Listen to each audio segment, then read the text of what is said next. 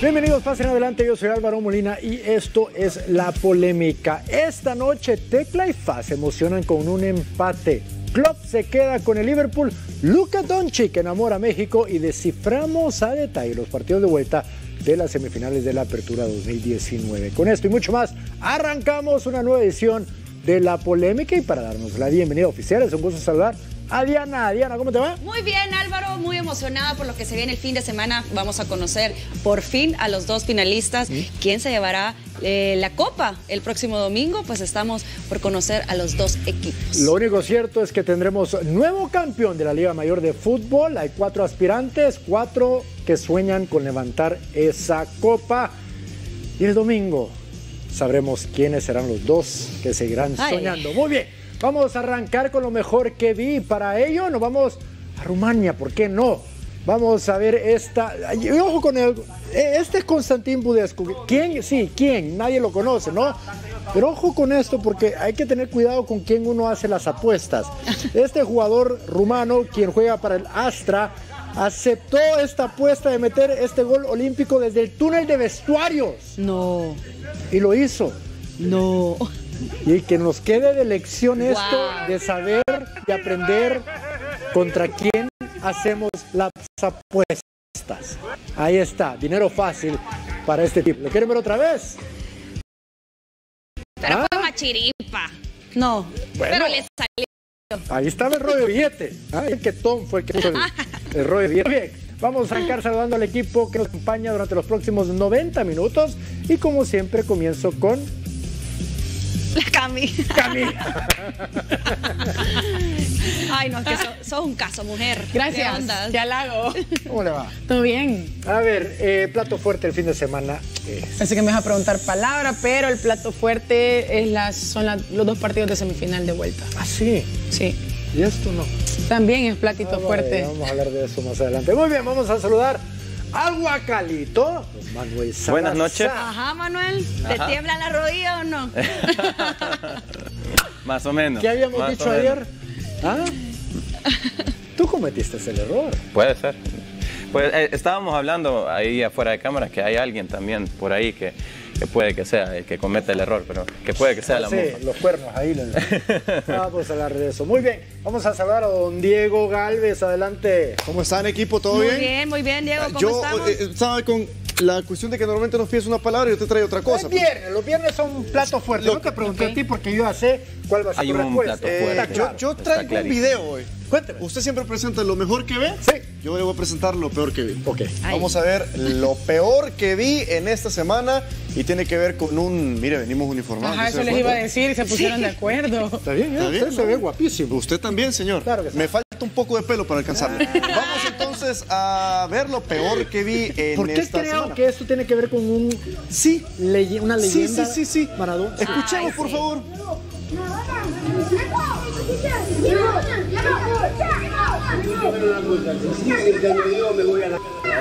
¿Ok? ¿Ok? Yo estoy acá respetándolos a ustedes. Ustedes respétenme a mí. ¿Ok? No se lo digo más, ¿eh? La próxima que, que dice Diego, Diego, Diego, me voy.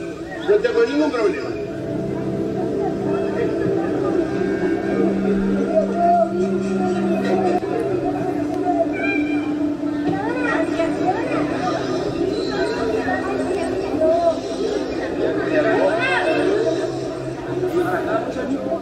Tipo nefasto. Son niños, por Dios. Pero mira, bien inteligente. Dijo que la próxima vez que dijeran Diego, Diego, y el niño le dice Maradona. No, pero qué tipo nefasto. Miren, Sí, ¿cuá- no. ¿cuántos videos no vemos a diario de atletas que se salen de su rutina para hacerle el día a alguien? Si no te cuesta y este señor que vive No, de sí. su pasado, por cierto, porque si viviera por su presente ya lo hubieran enterrado. Ah, pero Sí, acá hay ah. muchos que dicen que bah, No, lo mejor no, que existe. no, nada. por- Ese señor tuvo su época y después, cuando colgó los tacos, ha sido una pesadilla y una ¿Y saben qué, es vergüenza. lo, Hasta saben qué es lo un curioso? ¿Saben qué es lo curioso? Eso está en el documental autorizado por su persona en una de las cadenas populares de, de videos en Ya ni, streaming. ya ni atina que aprueba y que no. ¿eh? Muy bien, vamos a saludar a quien ha estado ahí sentadito pendiente. Estuvo viendo. Sí, uno de los tres mosqueteros, don Hernán Carrasco. a, a uno de los mejores jugadores del mundo dentro de la cancha uno de los mejores. Sin lugar a dudas. Dentro de la cancha, Fuera. sí. Como lo dijo Ronaldinho también eh, eh, estos días, ¿no? ¿Cuáles son los mejores esto. jugadores? Oiga, oiga, No, lo que Dijo pasa es que Hola, hola. Maradona, Pelé, el mismo eh, Ronaldo, ¿no? claro. Ajá. Cuando le preguntaban quién era el mejor ¿Qué- jugador. qué- qué más dijo? ¿Ah? ¿Qué más Que dijo? Messi no era el mejor jugador. No, no, de todos los tiempos. De todos los tiempos. De su época sí. Hay que leer la noticia completa, señor. Sí, no, no, pero de todos los tiempos estábamos hablando la vez pasada. Sí, sí, ¿no? sí. De este tiempo creo que sí. y seguramente lo dice porque él se considera ese. ¿Ah? Ahí está. No, pero ¿Qué te ese, dije? ese es suponer. ¿Qué te dije? Ese es suponer. Ronaldinho también es otro que Y Ronaldinho en algún Ronaldinho momento... tampoco es uno que sea muy alentado para andar dando opiniones. Ojo, ojo que yo no conozco a nadie que haya llegado al Santiago Bernabéu que le hayan sacado los pañuelos. A A Messi, Ronaldinho a lo Messi, hicieron. por cierto. A Ronaldinho Messi. lo hicieron. A Iniesta, a Messi, los dos. A los dos, señor. Hemos arrancado bien. el video mañana, Sí, Ya, vamos a arrancar siéntense. hablando de lo nuestro porque anoche tuvimos un partido muy interesante, lo cual vamos a descifrar.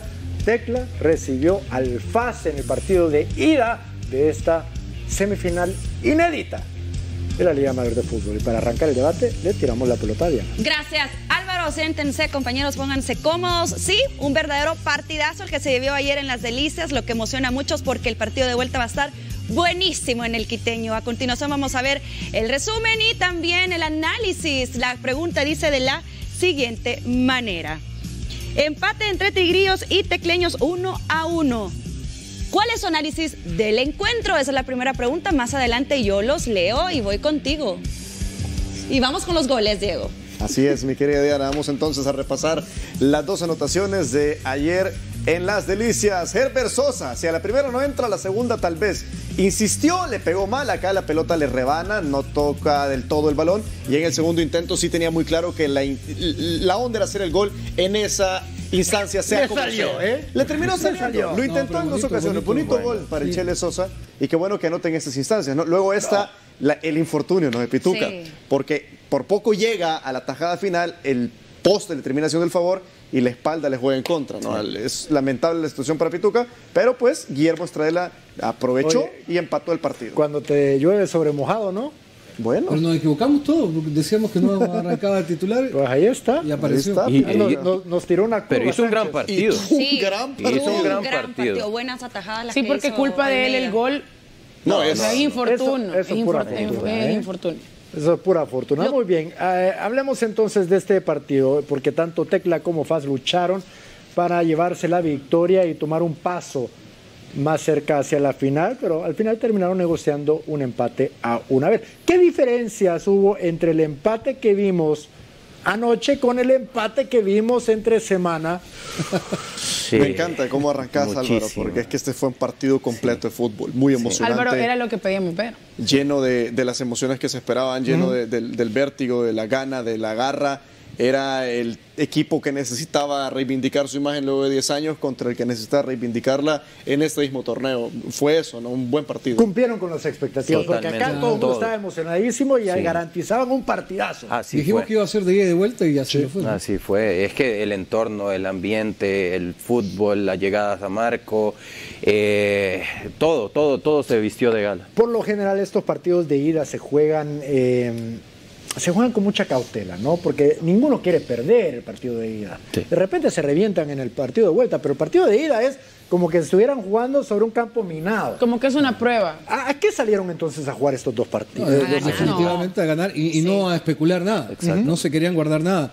Y eso nos regaló un bonito partido y también una bonita imagen. A pesar de que Santa Tecla no consigue ganar en casa, pero sí nos deja una de las mejores versiones de Santa Tecla. ¿Por qué? Porque la última vez que Faz llegó a la, a la Delicia, con dos jugadores menos, estuvo a punto de complicarle Sí. a Santa Tecla. Y, eh, y ayer eh, la historia fue otra, ¿no? Fue un partido Pero, muy pero, duro. pero sí, concuerdo contigo, Hernán, pero no sé si estarás de acuerdo que Faz fue mejor Claro. ayer. ¿Fue, fue Faz el mejor. equipo? Fue mejor equipo que, que Santa Tecla. ¿Demostró más el Faz? Para mí sí. Sí. Y sobre todo, eh, ma- eh, quizás Santa Tecla, y lo decíamos ayer, lo anticipábamos, iba a ser un equipo que iba a mostrar cosas colectivamente y creo que lo hizo, sí. De hecho, el gol A mí me parece extrañísimo, pero no nota a Herbert Sosa, que quizá no ha sido el recurrente anotador. Eh, eso te habla de un colectivo apoyando una causa y no importa de dónde venga la anotación.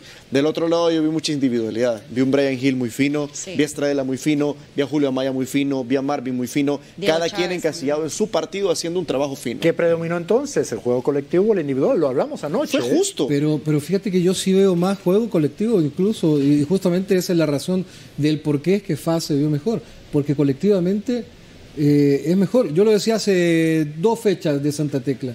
Santa Tecla está mejorando, pero en base a- al trabajo individual de algunos de sus jugadores. Oye, ¿qu- ¿quién estuvo? Porque ha- hablamos de la verticalidad, verticalidad perdón, eh, el ritmo que tuvo el partido, que estuvo fantástico. Pero ¿quién estuvo más cerca? Una cosa es quién jugó Sí, mejor. no, ¿Quién eso. estuvo más cerca para Precisamente, más cerca Faz. Sí, precisamente creo que por eso se define que, que Faz juega mejor el partido, porque estuvo más cerca de anotar Faz.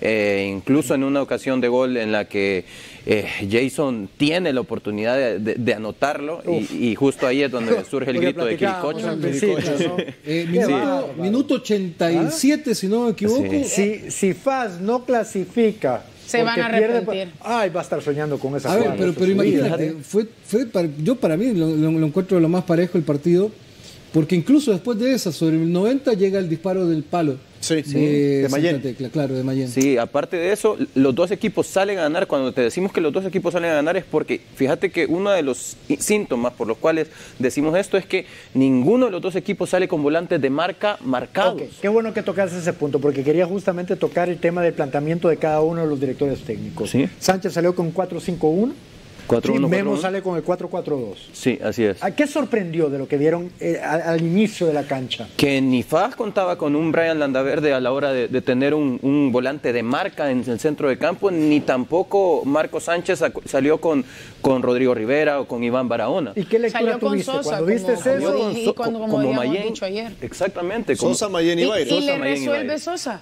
Exactamente. Es el que le resuelve al final. Los dos, los dos equipos salen a intentar tener la pelota, a proponer, y eso al final se ve reflejado en, en- en- en el juego. ¿A ritmo de quién se jugó este partido? Porque hubo, sí, velocidad, hubo... Parecía un, un juego de ping-pong de repente en, en la cancha. Pero ¿a- ¿alguien impuso su ritmo? Me parece que fue fácil. Sí. Fácil. Porque es un equipo que tiene más dinámica en ese sentido. Tecla más de Y posesión te de quiero pelota. decir el secreto de por qué Faz eh, tuvo eh, más o impuso más su juego. ¿Por qué? Santa Tecla ha, te- ha cargado mucho su ataque en un jugador como lo es Cienfuegos. Y a mí me parece que Ibsen le gana el duelo de Cienfuegos Todo el partido. todo el partido. Entonces, eh, si tu hombre, que regularmente es la clave, pierde su duelo individual, al final pues sos más débil. Hablamos anoche sobre la evolución que han tenido ambos equipos, ¿no? Porque ambos arrancaron muy vulnerables en este torneo, ambos cambiaron sus directores técnicos, Tecla lo hizo en dos ocasiones, eh, solo en una. ¿Cuánta, ¿Cuánta similitud o cuánta diferencia vieron en cancha anoche? Pero es que, ¿sabes? Ahora que menciona Manuel los planteamientos para intentar evitar los embates individuales de cada equipo, creo que eso es un determinante para el partido, porque tampoco Brian Hill tuvo la mejor de sus noches, sin dejar de ser una buena, y tampoco lo tuvo Cienfuegos, entendiendo obviamente ambos técnicos que son los pilares fundamentales en, en ataque. Ahora, eh, diferencias, diferencias tienen muchos estos equipos.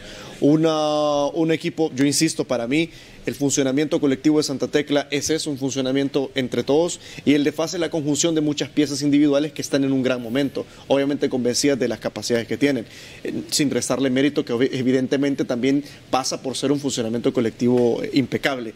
Pero es que el partido es tan parejo y es tan cerrado que se hace difícil contradecir el 1-1, se hace difícil contradecir el planteamiento táctico y se hace difícil contradecir la idea de que, porque si te das cuenta, todos decimos al unísono casi, Faz impuso su ritmo, Faz estuvo más cerca, fueron tan evidentes las pruebas de una leve superioridad, que igual y digo, el resultado justo y bien merecido, Sí. Claro. eh, es tan difícil contradecirlos que se vuelve también un partido eh, rico de análisis. Eh, eh, ¿no? al final es un partido que lo termina definiendo una genialidad. Correcto. Sí, y pues todo indica que el día de domingo así va a terminar siendo. Ahora, si pregunta, por ejemplo, quién pudo haber ganado el partido, cualquiera. Sí, señor. El partido estaba para cualquiera. Para cualquiera. Sí. Para cualquiera de los dos. O sea, no dentro de, de- de- de lo que pueda parecerle a algunos quizás que fue, fue superior, Ajá. pero a pesar de eso también Santa Tecla se Santa creó Tecla propuso, Claro, propuso. tuvo opciones. Entonces, al final de cuentas, el partido se lo pudo llevar cualquiera. Un gol más y muy difícilmente... rap- rápidamente, ¿quién te dejó un mejor sabor de boca? Faz. Paz, Sí, Faz. paz, Club Deportivo FAS. A mí Santa Tecla. Ok, estamos viendo en pantalla el show Eso de sí. pólvora que nos regaló FAS, o por lo menos la hinchada de FAS, ayer al inicio de la segunda mitad. A- al final el árbitro tuvo que suspender momentáneamente el partido. Muy Eh, bien, Joel, por cierto. Ojo, Todo el partido la muy bien, Joel. no está permitiendo... Eso, es que eso, es- ¿Qué consecuencias debemos de esperar a raíz de este incidente? Pues ya hay una sanción. Una sanción impuesta por la Food. No va a haber bombos ni. No va a haber banda sonora, supuestamente. Claro, el domingo. Quiteños, sí. Claro. Es Porque- lamentable, porque nada tiene que ver una cosa con la otra. Pues, ¿Sabes lo que pasa? Es que muchas veces dentro de los bombos es donde meten eh, justamente todos estos eh, artículos pirotécnicos, ¿no? Ah. Entonces, para evitar eh, que se pueda introducir todo lo que todo lo que es esto, pues eh, obviamente que no entre nada. Y es lamentable, ¿no? Porque el ambiente estuvo fenomenal. Sí. Se vio familias completas viendo el partido, Hubo un muy estadio buen marco de muy público. animado. Y luego esto, gracias a Dios, no hubo ninguna tragedia, ¿eh? Gracias a Dios. Sí. No hubo ninguna lesión, no hubo nada. Pero Es prohibido. Es Es que ya está. ¿Cuándo vamos a aprender a seguir las reglas en este país? Ya no vamos contigo. Gracias Álvaro. Vamos a leer los comentarios de nuestros televidentes a continuación. La pregunta decía de la siguiente manera en nuestras redes sociales. ¿Cuál es tu análisis del encuentro que vivimos en las delicias entre Tecla y FAS? A ver qué dice Manuel. Un partido muy entretenido. Los dos equipos jugaron bien y de esta serie sale el campeón. René Enríquez. FAS fue superior y por momentos sólidos en defensa. Santa Tecla demostró ganas, pero no le alcanzó. Muy bien, eh, ya usted lo mencionabas, eh, Álvaro Diego, sobre la quema de pólvora ayer en el Estadio de las Delicias. A raíz de esto, la Comisión de Seguridad de la Fast Food ha tomado cartas sobre el asunto y han prohibido pancartas y también bombos para el próximo domingo en el Quiteño. Veamos. La Comisión de Seguridad de la Fast Food compadeció en conferencia de prensa para anunciar los dispositivos de seguridad para las semifinales de vuelta de la Apertura 2019. Señalaron que en los encuentros de ida existieron comportamientos inadecuados, como lo ocurrido en Santa Tecla, donde la afición de FAS utilizó pólvora. Ante esto, la comisión tomó decisiones drásticas para el segundo encuentro de la serie. Unánimamente se tomó la decisión de, para el partido próximo en Santana eh, tomar la decisión de que se le no se habrá prohibiciones en términos generales, pero para FAS específicamente para el partido Santa Tecla FAS no van a poder ingresar instrumentos, bombos ni pancartas como también el papel contómetro. Habrá un registro muy, muy, pero muy minucioso en cuanto al ingreso de los aficionados, principalmente por resguardar la seguridad de, de los que acompañen a, a Club Deportivo FAS y también a Santa Tecla. La verdad que es, el fútbol es para que nos divirtamos, el fútbol es para que nosotros seamos más amigos y, y pasemos una tarde pues alegre. A veces eh, suceden situaciones como las, las del día de, de ayer en la noche, donde el árbitro tuvo que detener el juego, como también a consecuencia de que hubieron, eh, hubo demasiada pólvora, hubo mucho humo, eso ocasionó que, que niños salieran afectados eh, en, un momento de, de- de esa, de esa quema. Obviamente que eso no es saludable para los asistentes a, a los escenarios deportivos. Realmente, pues, este, se ha sido muy flexible como Comisión de Seguridad en varios eh, presidentes o dirigentes de grupos de animación, pero que lamentablemente, pues, es- no entienden que las reglas, las leyes están ahí para que se cumplan y realmente, pues, este, al final, que no se den incidentes y que todos ganemos en esta situación. Hicieron la invitación a la afición a comportarse de buena forma para evitar inconvenientes y así garantizar el espectáculo del fútbol. Ya tenemos los dispositivos de seguridad, ¿verdad? Tenemos la participación de la unidad de mantenimiento del orden, ¿verdad? Listos para poder este, apoyar estos partidos.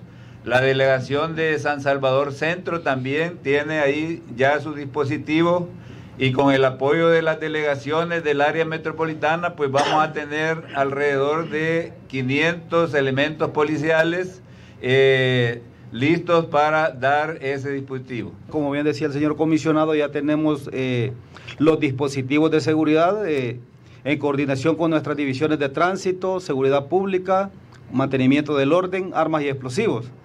Eh, decir que nosotros como institución policial nos queda más que verificar y supervisar y ejecutar las medidas tomadas por la Comisión de Seguridad. Nosotros somos parte de la Comisión de Seguridad y establecemos que son medidas necesarias y urgentes para que se garantice un espectáculo, como ya se dijo, de lo mejor que se pueda. También se confirmó que a la afición de Águila se le impondrá una sanción similar a la que se le impone a FAS durante el próximo torneo por haber utilizado pólvora en el repechaje rumbo a semifinales ante Sonsonate. Para la polémica, Nelson Hernández. La polémica.